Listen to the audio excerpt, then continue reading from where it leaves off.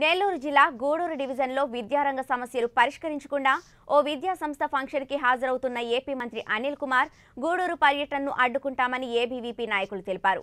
అఖిల భారతీయ విద్యార్థి పరిషత్ ఏబీవీపీ గూడూరు శాఖ ఆధ్వర్యంలో విలేకరుల సమావేశం ఏర్పాటు చేశారు.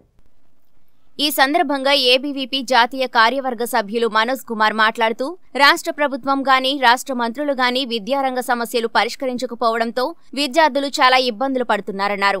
డిగ్రీ మొదటి సంవత్సరం ఆన్లైన్ ప్రక్రియ మీద రాష్ట్ర ప్రభుత్వం ఇంతవరకు స్పష్టత ఇవ్వలేదని పీజీ లాసెట్ కౌన్సిలింగ్ ఇంతవరకు నిర్వహించకపోవడం పేద విద్యార్థులకు విద్యా దీవెన వసతి దీవెన రద్దు చేస్తూ జీవో డెబ్బై ఏడు విడుదల చేయడం చాలా బాధాకరమన్నారు. మాట తప్పం మడమ తిప్పమని కల్లబొల్లి మాటలు చెప్పి ఇప్పుడు మాట తప్పారని వెంటనే జీవో నెంబర్ డెబ్బై ఏడు రద్దు చేయాలని డిమాండ్ చేశారు. జిల్లాలో ప్రభుత్వ కళాశాల వసతి గృహాలకు శాశ్వత భవనాలు లేవని ఫీజు రియంబర్స్మెంట్ స్కాలర్షిప్లు విడుదల చేయకపోవడంతో ఫీజు చెల్లించలేక విద్యార్థులు చదువు మధ్యలోనే ఆపేసే పరిస్థితి నెలకొందన్నారు. ఇప్పటికైనా స్పందించి విద్యారంగ సమస్యలు పరిష్కరించకపోతే రాష్ట్ర మంత్రులు ఎమ్మెల్యేలు ఎంపీల క్యాంప్ ఆఫీసులు ముట్టడిస్తామని హెచ్చరించారు. ఈ కార్యక్రమంలో జిల్లా హాస్టల్స్ కన్వీనర్ చిన్న నగర కార్యదర్శి కార్తీక్ నగర సహాయ కార్యదర్శి వెంకటేష్ జార్జ్ ఏబీవీపీ నాయకులు తదితరులు పాల్గొన్నారు.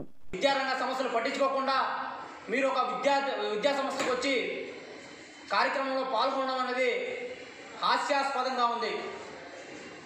అనేక విద్యారంగ సమస్యలతో ఈరోజు ఇబ్బందులు పడుతున్నారు విద్యార్థులు కానీ విద్యా సంస్థలు కానీ. ఇంతవరకు కానీ రాష్ట్రంలో డిగ్రీ ఫస్ట్ ఇయర్ ఆన్లైన్ అడ్మిషన్ల ప్రక్రియ జరగలేదు. దీని గురించి మీ యొక్క రాష్ట్ర ప్రభుత్వం కనీసం పట్టి పట్టినట్టుగా వ్యవహరిస్తుంది. అదేవిధంగా పీజీ కౌన్సిలింగ్ కానీ లాసెట్ కౌన్సిలింగ్ కానీ ఏ కౌన్సిలింగ్ జరగకుండా ఈరోజు వాటి మీద స్పష్టత ఇవ్వకుండా ఈ యొక్క రాష్ట్ర ప్రభుత్వం కూడా విద్యార్థుల్ని గాలి కొల్లేసిన పరిస్థితి మనం చూస్తూనే ఉన్నాం. దీని గురించి మీ యొక్క ప్రభుత్వం కానీ మీరు కానీ పట్టించుకున్నారా? ఫీజు రియంబర్స్మెంట్ స్కాలర్షిప్లు ఎంటెక్ వాళ్ళకి కానీ ఎంఫార్మసీ వాళ్ళకి కానీ ఎంసీఏ వాళ్ళకి కానీ ఎంబీఏ వాళ్ళకి కానీ ఇంతవరకు రిలీజ్ చేయలేదు. దీని గురించి మీ యొక్క రాష్ట్ర ప్రభుత్వం పట్టించుకుందా అంటే అది కూడా లేదు.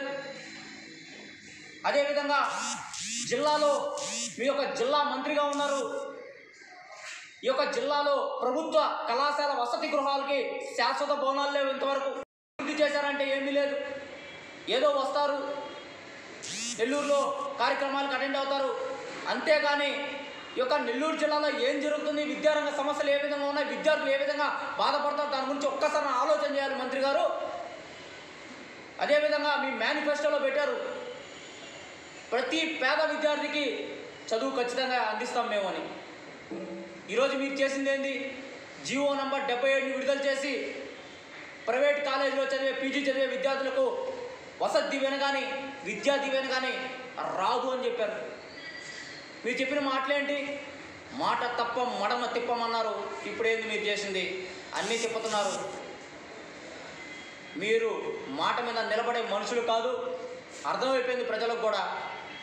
ఇలాంటి మీరు ఒక విద్యా సంఘ సంస్థకు వచ్చి కార్యక్రమంలో పాల్గొంటానంటే మేము ఖచ్చితంగా మిమ్మల్ని అడ్డుకోబోతున్నాం.